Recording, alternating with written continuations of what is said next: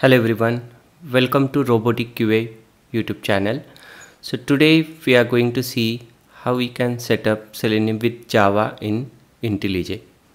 So I'll open IntelliJ and create new project. So I'll go to file new project, give the project name. So I'll give Selenium project.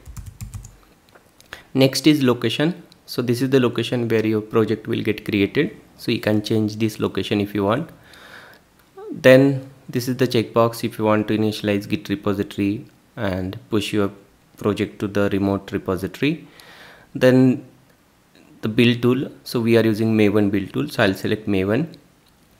And the next is jdk so java version. So I have here 23 JDK 23 so if you don't have JDK install you can download the JDK or if it is already there so you can select the location also. If it is not reflecting you can click on add JDK from disk.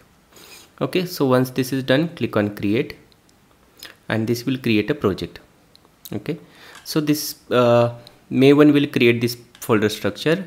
Like under src we have main and test so under test we are going to create our uh, selenium script here. So i'll give the name chrome test. Okay so this is the empty class. And uh, to check like if jdk is configured correctly or not so i'll just print something. Let's say hello robotic qa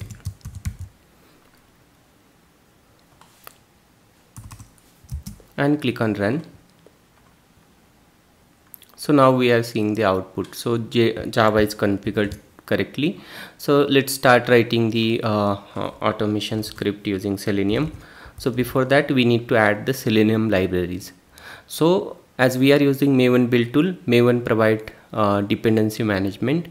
So let's go to selenium website and let's see what is the version available. So if i go to downloads um, i can see as of today uh, the selenium version 4.33.0 is available for java binding okay?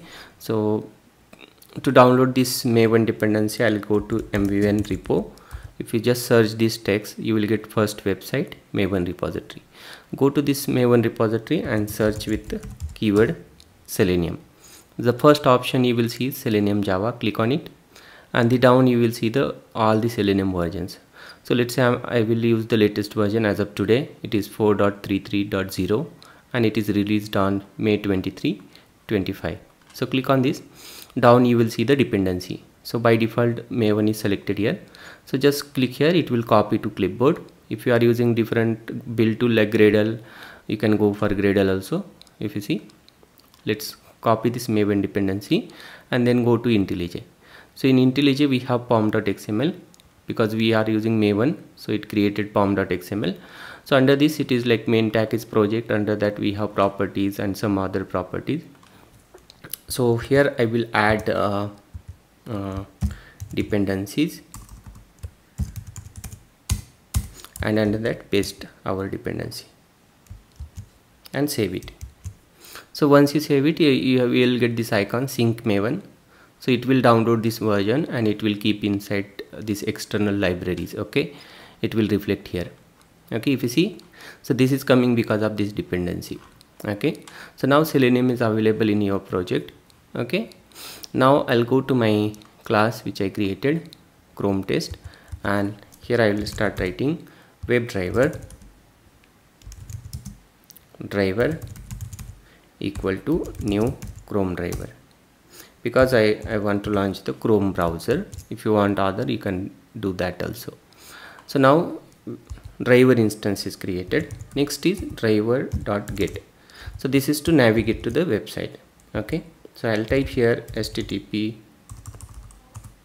https colon double slash roboticqa.com this will open the website. This will create the instance. Then if you want to maximize the window write driver dot manage dot window dot full screen is there and maximize also. And finally I want to close driver dot quit. Okay. So here we created the instance navigating to website maximizing the browser window and closing it. Let me click on run now and let's see the output so selenium will interact with chrome browser. Navigate to this website. It will maximize and close the browser. So if you see the browser is open. It navigated maximize and it closed also. So that's how we successfully configured the selenium with IntelliJ and executed our sample script. Thank you